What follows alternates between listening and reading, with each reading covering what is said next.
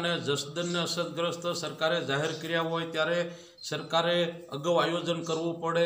જે તે વિસ્તારની માલિપા પાણીની તકલીફ હોય, ગામડાઓની માલિપા પાણીની તકલીફ હોય, સિટીની માલિપા પાણીની તકલીફ હોય, તો દાર પડાવવા પડે, ટેન્કર ચાલુ કરાવવા પડે. કોઈ જાતના ટેન્કર ટાઈમ ટુ ટાઈમ ક્યાંય ગામડાઓની માલિપા શરૂ થયા નથી, ટાઈમ ટુ ટાઈમ ક્યાંય પાણી ગામડાઓની માલિપા આવતું નથી. અને માલ ઢોરને પીવાનું પણ પાણી મળતું નથી.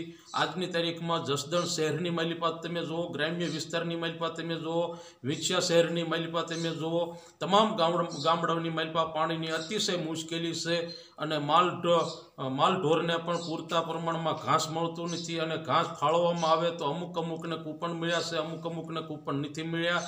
તો એક એક ઢોરને જે ઘાસ, જે વિતરણ જે થવું જોઈએ, પૂરતા પ્રમાણમાં થવું જોઈએ. અમુક અમુક ગામની માલિપાએ કોઈ બે બે તંગીઓ આપી છે. પૂરતા પ્રમાણમાં તંગીઓ આપી નથી. પશુપાલકો હોય માલધારી હોય, તમામને પૂરતું ઘાસચારો મળવો જોઈએ. અને અસરગ્રસ્ત જાહેર કરેલા હોય ત્યારે વીંછિયા અને જસદનની માલિપા રાહત કામ શરૂ થવા જોઈએ કેટલ કેપ શરૂ થવા જોઈએ.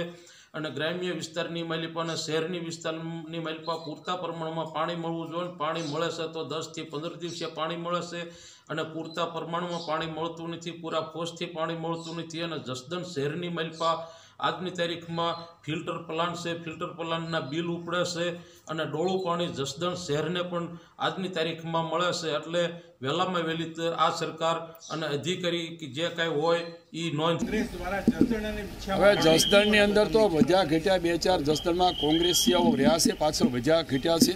જસદણ શહેરમાં પણ પૂરતું પાણી ત્રીજા ચોથા દિવસે વોર્ડ વાઇઝ રોટેશનમાં અપાય છે.